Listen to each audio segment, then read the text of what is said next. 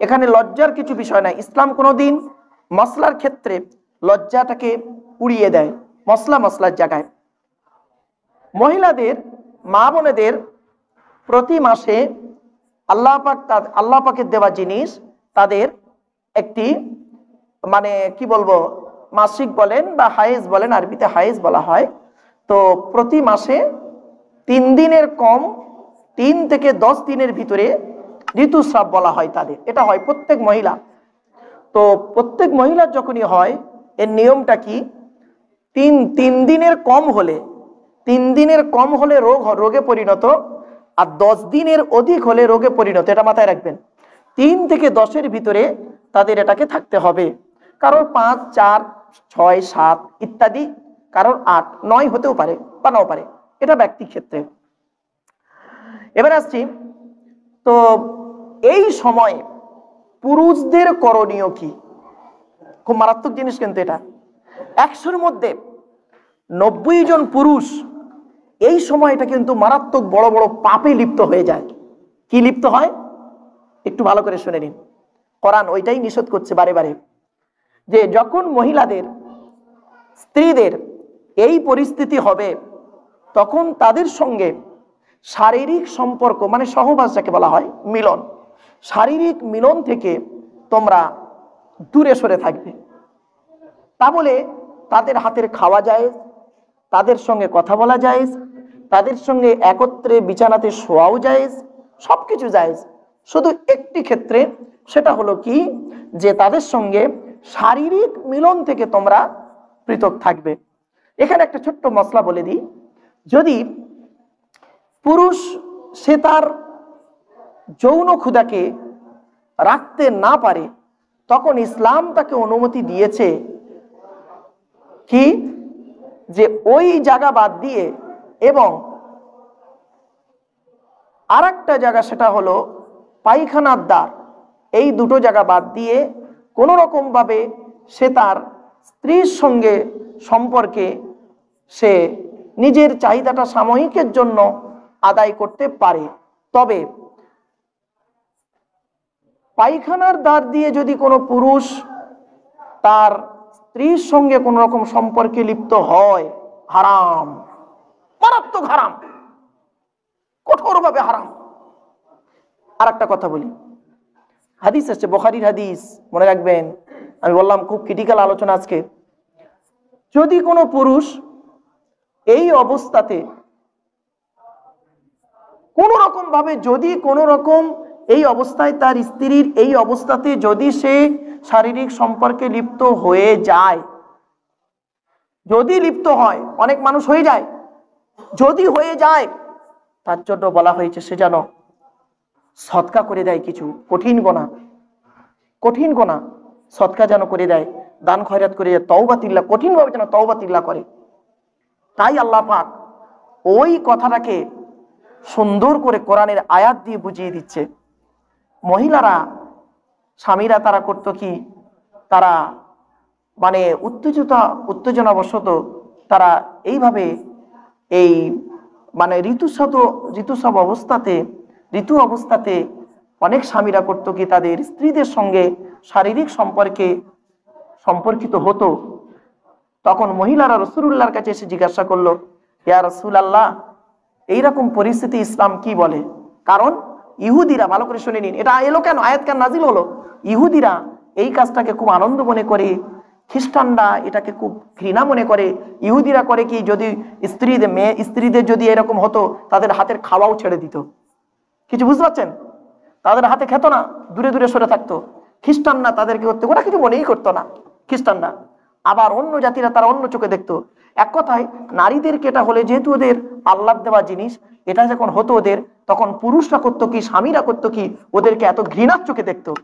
আল্লাহ সেই ঘৃণাটাকে একদম নির্মূল করে দিয়ে আল্লাহ পাক আয়াত নাজিল করে দিল। হে পুরুষেরা, শোনো, তোমাদের স্ত্রীদের যখন এরকম পরিস্থিতি হবে, খবরদার তোমরা তাদেরকে তাদেরকে কোনোদিন কষ্ট দেবে না, তাদেরকে অত্যাচার করবে না, তাদের শারীরিক সম্পর্ক থেকে একটু দূরে থাকবে, তা বলে তাদের হাতের খাওয়া, তাদের হাতের মানে রান্না করা ইত্যাদি সব কিছু তোমার জন্য জায়েজ। জাস্ট একটাই জিনিস থেকে তুমি দূরে সরে থাকবে। কতদিন? যতদিন পর্যন্ত সে পবিত্রতা অর্জন না করে। এই ঘটনাকে একজন ব্যক্তি এসে বলল, ইয়া আল্লাহ এরকম একটা হয়ে গেছে ঘটনাটা বলে দিই। ব্যক্তিটাকে বলব? ব্যক্তিটা হলো হজরতে ওমর ফারুক রদি আল্লাহ তালানহ হজরত ওমর ফারুক রদি আল্লাহ রসুল্লাহ দরবারে এসে বলছে, ইয়া রসুল আল্লাহ খুব ভুল করেছি। খুব ভুল করেছি। খুব বড় পাপ করেছি। কি? বলতেও পাচ্ছেন না বেচারা লজ্জার খাতিরে। তখন কি কায়দা দেখুন, বলার টেকনিক্যালটা হজরত উমারের। আমি আমার বাহনটাকে উল্টে ব্যবহার করেছি। এতটুকু বললেন। ঘটনাকে কেন্দ্র করে আল্লাহ পাক আয়াত নাজিল করে দিলেন। কি সুন্দর শিক্ষা। আর একটা কথা বলে দিই, প্রসঙ্গ যখন এলো, রসুল বলেছেন আম্মাজান আইসা বর্ণনা করছেন, মারাত্মক হাদিস। মা রয়তু ওলা আমিন কি বললাম বাপেরা? মা রয়তু ওলা রা তিনি আমাকে দেখেননি, আমি তাকে দেখিনি। খবরদার নয় বাপেরা। হাত জোড়া করে বলে যাচ্ছি, আমার এই বক্তব্য থেকে যারা শিক্ষা নিচ্ছেন, তাফসিরে মাহফিল থেকে এটা মারাত্মক আলোচনা বাপেরা। রসুলের স্ত্রী আম্মাজান আয়সা বলছেন, আমি রসুলকে দেখিনি, রসুল আমাকে দেখিনি। কি বুঝলেন আপনারা? খবরদার নয়। খবরদার নয়। নিজের গুপ্তাঙ্গ পর্যন্ত বিনা কারণে দেখাও চলবে না। পেশাব পায়খানা করতে গিয়ে নিয়ম কি? রসুল বলেছেন, হাঁটুর উপরে কাপড় উঠবে না, পেছন দিক থেকে কাপড় ব্যবহার করতে হবে। নিজের গুপ্তাঙ্গকে, গোপন অঙ্গকে দেখাও চলবে না, বিনা কারণে। আয়সা বল আম্মাজান আয়সা বলছেন মা রয়তু ওলা আমিননি তিনি আমাকে দেখিনি আমি তাকে দেখিনি। কিন্তু আফসোসের বিষয়, আজ আমরা কি করি, কোথায় যাই, কি কি কল্পনা করতে পারবেন না। এটা একটা দিক। আর একটা দিক আসছে। কীভাবে আপনি স্বামী স্ত্রী সম্পর্ক করবেন? কোরআন জানিয়ে দিচ্ছে, রসুল জানিয়ে দিচ্ছে। সব থেকে উত্তম জিনিস হলো অজু অবস্থায়। সন্তান কখন গন্ডগোল হয়? সন্তান কখন নোংরা হয়, জঘন্য হয়? তার কিছু কারণ পিতামাতার উপরে আসর হয়। মনে রাখবেন, এই জন্য মঙ্গলবার রাতে কথিত আছে, মঙ্গলবারে আল্লাহ পাক সমস্ত হারাম বস্তুগুলোকে মঙ্গলবারে সৃষ্টি করেছেন। কেউ কেউ বলেছেন, মঙ্গলবার রাতে যদি স্বামী স্ত্রীর মিলন হয়, ওই মিলনে যদি কোনো সন্তান জন্ম হয়, ওই সন্তান সহজে আল্লাহর অলি হয় না। আমার বাপেরা কথাগুলো মাথায় রাখুন, খুব গুরুত্বপূর্ণ কথা। যাই হোক, এবার আসছি কীভাবে আপনি আপনার স্ত্রীর সঙ্গে সম্পর্ক করবেন। তার নিয়ম পদ্ধতি কোরআন বলে দিয়েছে আদিস বলে দিয়ে যাইতেই নয়। ইসলাম এমন একটা সূক্ষ্ম ধর্ম। কীভাবে আপনি তার সঙ্গে সম্পর্ক রাখবেন?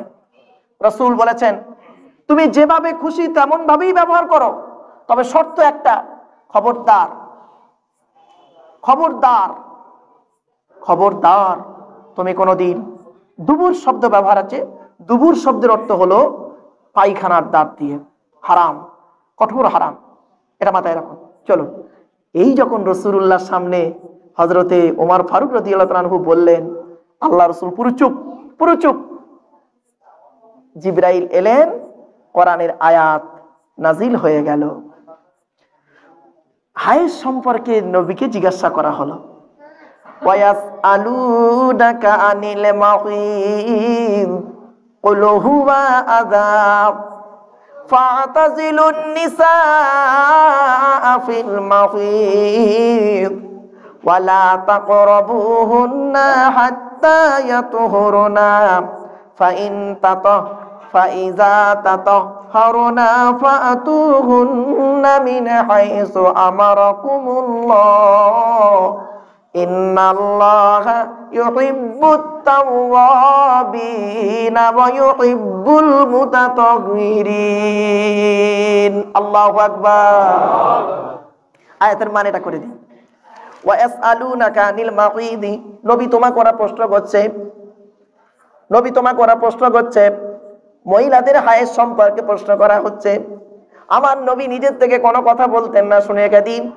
আল্লাহর নবীর সাহাবিরা নবীকে সতেরোটা জায়গায় প্রশ্ন করেছেন, কটা? সতেরোটা প্রশ্ন। আল্লাহর নবীর সাহাবিরা আমার নবীকে করেছে। আর কাফের, বেঈমান, মুশরিকরা ইসলাম গ্রহণ করতে গিয়ে হাজার হাজার প্রশ্ন করেছেন। কিন্তু নবীর সাহাবিরা মাত্র সতেরোটা প্রশ্ন করেছেন। তার মধ্যেই একটা প্রশ্ন। ওয়াস আলু নাকা নবী তোমাকে ওরা প্রশ্ন করছে হাইজ সম্পর্কে মহিলাদের ঋতু সম্পর্কে প্রশ্ন করছে। নবী তুমি বলে দাও, কুল হুমা আজান, এটা হলো খুব কষ্টদায়ক জিনিস। এটা খুব কষ্টদায়ক জিনিস। খবরদার খবরদার নারীদের, তোমার তোমরা তোমাদের স্ত্রীদের কাছে ওই সময় তাদের সঙ্গে সম্পর্কে লিপ্ত হইও না। আর তাদের নিকটবর্তীও হয় না। হাত্তা ইয়াতুহুরুনা, যতক্ষণ পর্যন্ত তারা না পবিত্রতা অর্জন করে। এবার পবিত্রতা অর্জন করতে গেলে কেমন করে পবিত্রতা অর্জন করতে হবে সেটা আপনারা জানেন। মা বোনেরা কম বেশি জানে। এরপরে আল্লাহ পাক বলছেন যখন তারা পবিত্রতা অর্জন করবে, ফাতুহুন্না মিন হাইসু আমারাকুমুল্লাহ। তখন তোমরা তোমাদের স্ত্রীদের সঙ্গে সম্পর্কে লিপ্ত হবে, মিলনে লিপ্ত হবে। তবে যাই তাই ভাবে নয়, মিন হাইসু আমারাকুমুল্লাহ, আল্লাহ রব্বুল আলামিন যেমন তোমাদেরকে সম্পর্ক করতে বলেছে, ওইভাবে তোমরা সম্পর্কে লিপ্ত হবে। উল্টো পাল্টা যদি সম্পর্কে লিপ্ত হয়েছ, জাহান্নাম ছাড়া কোনো গতি হবে না। আল্লাহ পাক কোরআনে আরও বলে দিচ্ছেন, ইন্নাল্লাহা ইউহিব্বুত তাওয়াবিন। নিশ্চয়ই আল্লাহ পাক পবিত্রতাকে ভালোবাসেন। ওয়া ইউহিব্বুল মুতাতাগিন, যদি তোমরা কোনো পাপ কাজ করে ফেলো।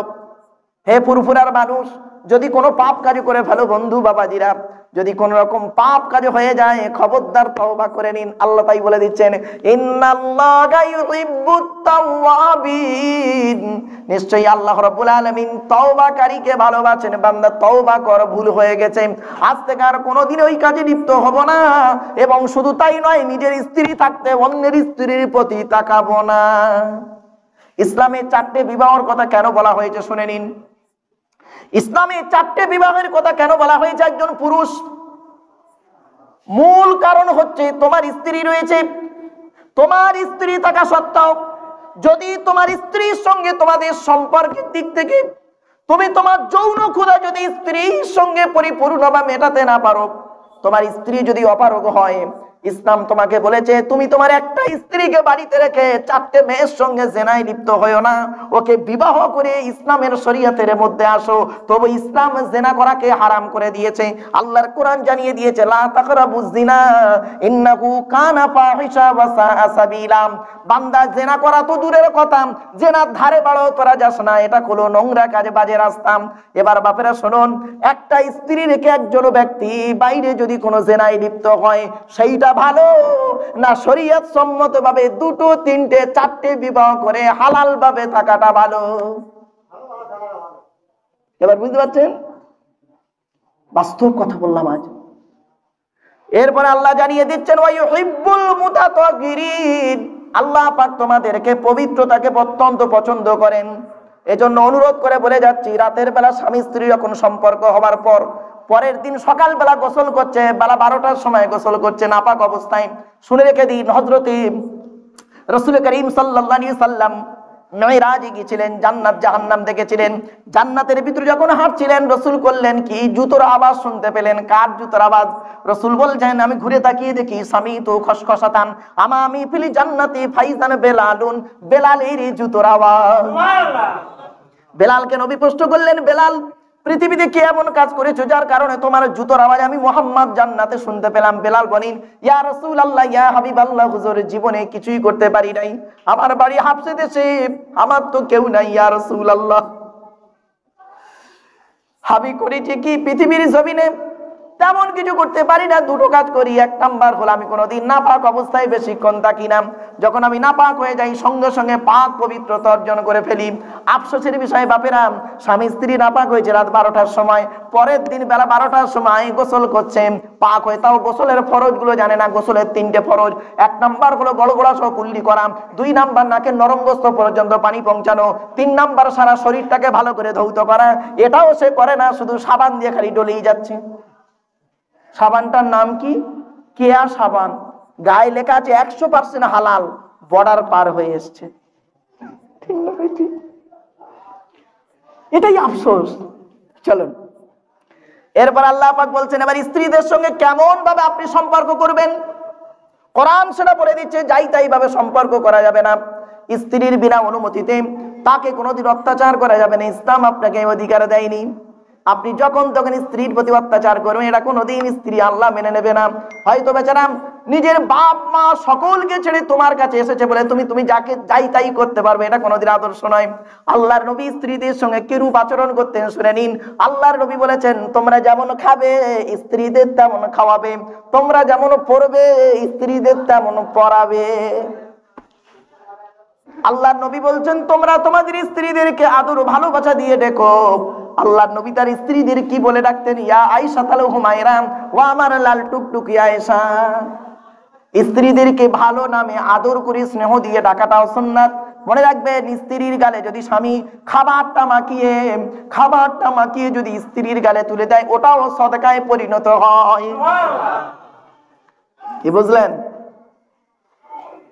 একটা ছোট্ট কথা আপনাদেরকে বলি আল্লাহ রসুল যখন আম্মাজান আয়সা বর্ণনা করছেন, হে পৃথিবীর মানুষ শোনক আল্লাহর নবীকে আমি যতবার খেতে দিতাম, আল্লাহর নবী করতেন কি আমি অনেক সময় করেছে কি? আমি খাবারটা নবীকে তুলে দিয়েছি। নবীজি আমাকে বলতেন আয়সা তোমার আছে? নারী জাতির একটা অভ্যাস হলো কি জানে নিজে না খেয়ে স্বামীকে খাওয়াতে পারলে জানটা বড় খুশি হয়ে যায়। ঠিক না বেটি? বাস্তব আরে আপনি, আপনার স্ত্রীর কথা ভাবছেন কেন? আপনি আপনার মায়ের কথা ভাবুন না।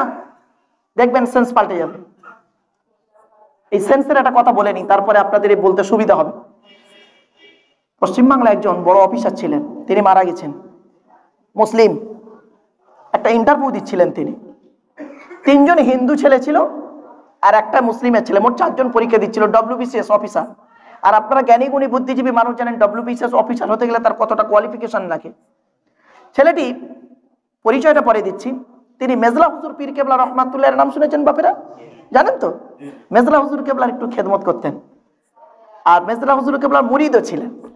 তা মেজলা হুজুর কেবলার কাছে যখন উনি ইন্টারভিউর আগে এসেছিলেন, হুজুর, গরিবের ছেলে, আপনি একটু দোয়া করেন, আমি ইন্টারভিউতে যাচ্ছি। তা হুজুর ওনাকে বলেছিলেন, কচি, তুমি একটু সাবধানে উত্তর দেবে। অনেক সময় প্রশ্ন কঠিন হয় উত্তরটা সহজ হয়। তুমি সাবধানে উত্তরটা দেবে, চিন্তা ভাবনা করে। জি হুজুর, আপনি দোয়া করেন। যাও বাবা। বলে চলে গেছে। ইন্টারভিউতে কি হচ্ছে এবার দেখুন।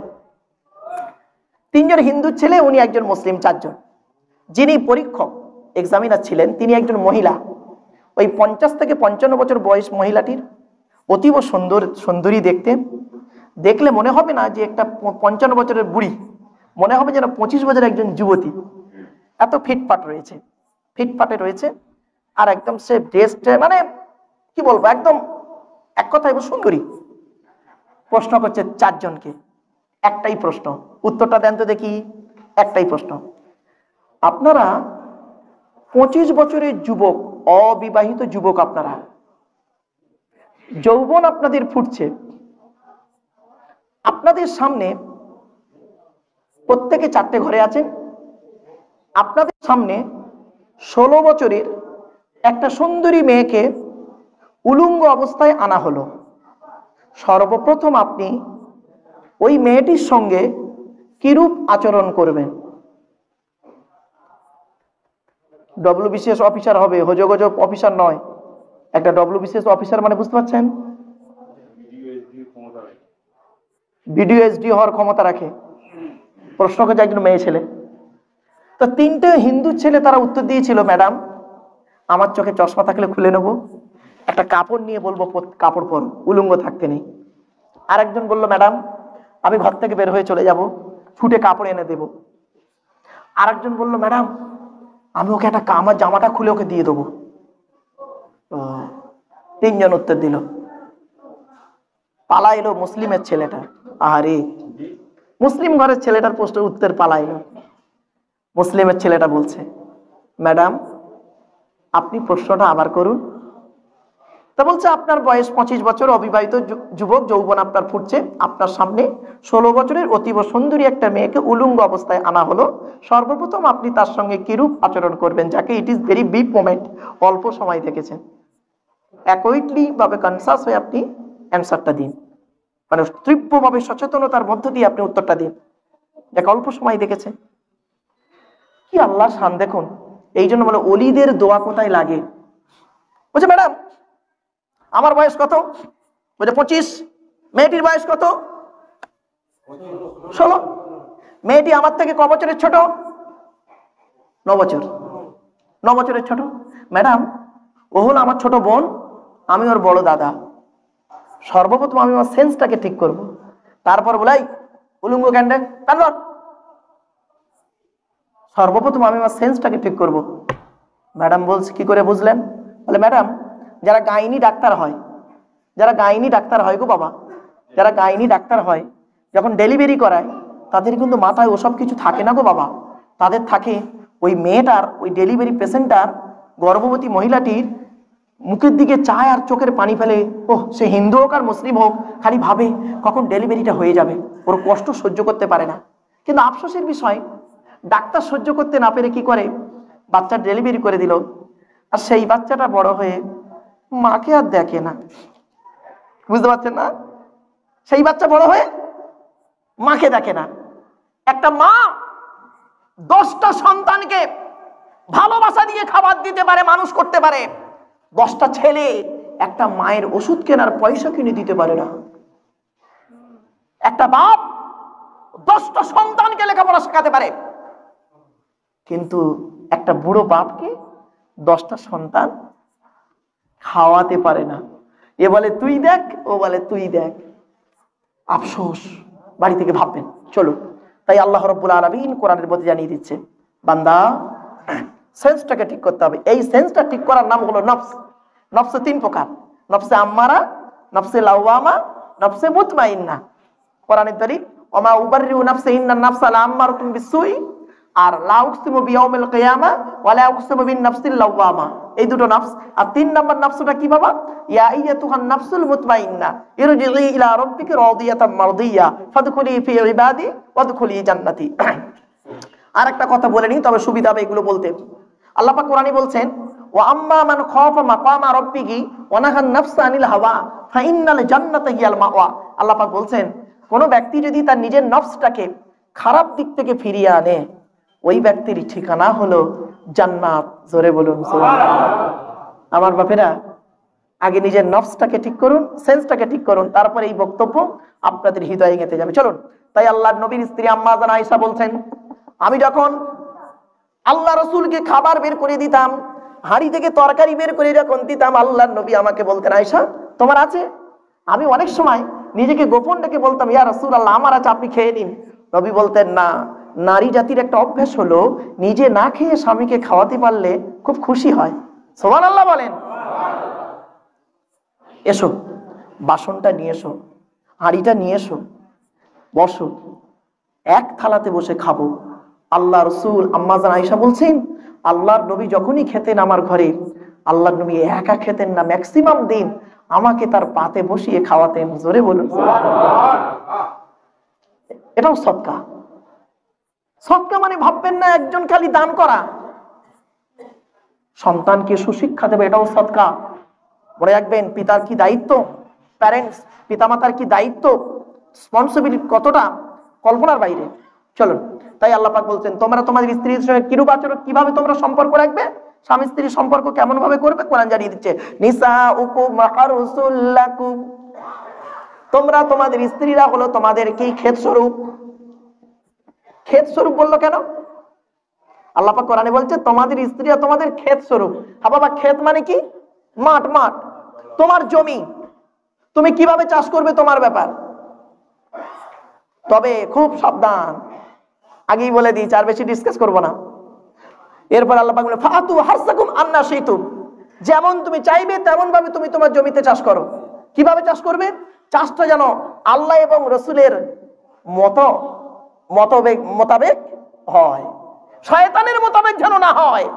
মনে রাখবেন, শয়তানের দুনিয়াতে শয়তানের দুনিয়াতে হালাল বস্তুতে মজা কম, শয়তানের দুনিয়াতে হারাম বস্তুতে মজা বেশি। ঠিক না বেটি কীরকম একটু উদাহরণ দিই? স্ত্রী হলো হালাল, আরে আমার স্ত্রী আমার জন্য হালাল না হারাম? বলুন বলুন বলুন বলুন। হালাল? স্ত্রী হলো হালাল, শালীরা হলো হারাম। স্ত্রী হলো হালাল শালী হলো হারাম। স্ত্রী তো কুড়ি বছর বয়স হয়ে গেছে না। স্ত্রী কুড়ি বছর বয়স হয়ে আর ভালো লাগছে না। শালিটা হলে ভালো হয়। শয়তানের দুনিয়াতে হালাল বস্তুতে মজা কম, হারাম বস্তুতে মজা বেশি। বাবা, খবরদার ইমানটাকে ঠিক করুন। এই জন্য আল্লাহ পাক বলছেন অত্তা আসছে, আয়াতটা আসছে এক্ষুনি। নিসাউকুম হারসুল লাকুম ফাতু হারসাকুম আন্না শি'তুম মুকদ্দিমু লিআনফুসিকুম যা তোমরা আগে পাঠিয়েছ, অর্থাৎ উদ্দেশ্য তোমাদের একটাই থাকবে স্বামী স্ত্রী সম্পর্কের মাধ্যমে, মিলনের মাধ্যমে উদ্দেশ্য একটাই। আল্লাহ, তুমি একটা নেক সন্তান দান করো, জোরে বলুন। এবার আসছি অনেক সময় কি করেন? সন্তান যখন পেটে এসে যায়, স্বামী স্ত্রী যুক্তি করে কি করে? বাচ্চা আপনারা মেরে ফেলেন ট্যাবলেটের মাধ্যমে, ইনজেকশনের মাধ্যমে বাচ্চা মেরে ফেলেন। আজ আমি যদি একজন ব্যক্তিকে এই এখানে স্টেজে বসে যদি কোনো বন্দুক নিয়ে, ছুরি নিয়ে যদি এই বাবাজিকে হত্যা করি, আপনারা কোর্টে আমার নামে আমার বিরুদ্ধে বিচার দেবেন, উনি একজন খুনি। তাই তো? কিন্তু আফসোসের বিষয়, বাপেরা, কত খুনি আমরা বসে আছি তার তো কোনো ঠিক নেই, কেমন খুনি? স্বামী স্ত্রী আনন্দ ফুর্তি করল, স্ত্রীর পেটে বাচ্চা এসে গেল, দুজনে মিলে যুক্তি করল, এ বাচ্চাটা নেওয়া যাবে না। এ করল কি? চারশো নিরানব্বই টাকা দামের ট্যাবলেট খাইয়ে ইঞ্জেকশনের মাধ্যমে বাচ্চা নষ্ট করে দিলেন। আল্লাহর কোরআন জানিয়ে দিয়েছেন বিআইজি জামবিন কোরআন জানিয়ে দিয়েছে, ওই সমস্ত মৃত সন্তানদেরকে আমি আল্লাহ কিয়ামতের জীবিত করে জিজ্ঞাসা করব জামবিন কুতিলাত, কোন অন্যায়ের কারণে তোমাদের পিতামাতা তোমাদের হত্যা করেছিল? ওই মাসুম মাসুম বাচ্চারা বলবে, আল্লাহ, আমার হত্যা হতে চাইনি। আমার বাপ আর মা আনন্দ ফুর্তি করল, বাপের পৃষ্ঠ হতে মায়ের পেটে এলাম। দুজনে মিলে করল কি যুক্তি করে? ডাক্তারের পরামর্শ নিয়ে ইনজেকশনের মাধ্যমে আমাদের মেরে দিয়েছে। ওগো আল্লাহ, আজকের দিনে যদি জাহান নামাই দিতে হয়, ওই বাপ আর মাকে আগে জাহান নামাই দাও, তারপরে তোমার বিচার যাহাই করিও। আল্লাহ বলবে, বান্দা, তোদের বলে দিয়েছিলাম, লা তাকতুলু আওলাদাকুম মিন খশিয়াতি ইমলাক 15 নম্বর পারায় নাহানু নারযুকুকুম ওয়া ইয়াহুম ওরে বান্দারা, তোরা কোনোদিন তোদের সন্তানদেরকে খাওয়াবার ভয়ে হত্যা করিস না। নাহানু ইয়াহুম আমি আল্লাহ তোদেরও খাওয়াই, তাদেরও খাওয়াই, জোরে বলো। আমার বাপেরা, কত মানুষ সন্তান হত্যা করে ইনজেকশনের মাধ্যমে, আর আফসোসের বিষয়ে কত মানুষ কুড়ি বছর বিয়ে হয়ে গেছে, সন্তান পায় না বলে লোকের সন্তানকে চুরি করে নিয়ে ধরা পড়ে যাচ্ছে। হয়নি? সন্তান দেওয়ার মালিককে? জোরে বলুন। লিল্লাহি মুলকুস সামাওয়াতি ওয়াল আরদি ইয়াখলুকু মা ইয়াশা ইয়াহাবু লিমান ইয়াশাউ ইনাসাও ওয়া ইয়াহাবু লিমান ইয়াশাউ যুকুর আও ইযাউ বিযুহুম যুকুরানা ওয়া ইনাসা ওয়া ইয়াজআলু মান ইয়াশাউ আকিমা সুরাই শোহরা পঁচিশ নম্বর পারা সাত নম্বর পৃষ্ঠা বারো নম্বর লাইন। সুরার নাম সুরা শোহরার মধ্যে আল্লাহ পাক বললেন আসমান পৃথিবী জমিনের মালিক হলাম আমি আল্লাহ যা ইচ্ছা তাই সৃষ্টি করতে পারি। ইয়াহাবু লিমান ইয়াশাগু ইনাসা আমি আল্লাহ যাকে ইচ্ছা তাকে শুধু কন্যা দান করি। ওয়াহাবু লিমান ইয়াশাউ যুকুর আমি আল্লাহ যাকে ইচ্ছা তাকে শুধু পুত্র দান করি। নেই? ছটা মেয়ে ছেলে হয়নি। ছটা ছেলে মেয়েই নেই। আবার আল্লাহ বলছেন, আউ ইজাও বিজুগুম যুকুরান আও ইনাসাম আমি আল্লাহ যাকে ইচ্ছা তাকে পুত্র কন্যা উভয়ে দান করি। নেই? দুটো ছেলে, দুটো মেয়ে। আবার আল্লাহ বলছে, বান্দা শোন, আমি কত বড় ক্ষমতাবান, চিন্তা করে দেখ।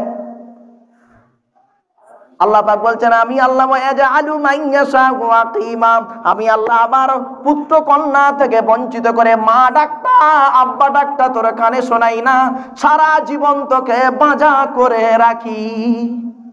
ঠিক না বেটি? আবার আল্লাহ বলে শোন শুধু বাজা করি না ওই বাজারও আবার সময় পেলে তাকে বাচ্চা দান করে পৃথিবীর জমিনকে জানিয়ে দিই সুবহান আল্লাহ বলেন এরকম একটা বলব? একটা বাজা মেয়ের কথা বলব? হ্যাঁ? শুনে রেখে দিন হজরতে ইব্রাহিম আলী সালামের স্ত্রী আম্মাজান নাম হলো তার কি জানেন? সারা। কি বললাম বাপেরা? সারা। আম্মাজান সারার বয়স যখন কত জানেন? নব্বই বছর। আর ইব্রাহিম নবীর বয়স তখন নিরানব্বই থেকে একশো বছর। দশ বছর তখন বাজা ওনার কোনো সন্তানও হয় না। আর দুইজন ফেরেস্তা এসে সংবাদ দিল, হে ইব্রাহিম নবী, আল্লাহ পাক আপনার সন্তান দান করবেন ওই সারার গর্ভ থেকে একটা সন্তান হবে। তার নাম হলো ইসহাক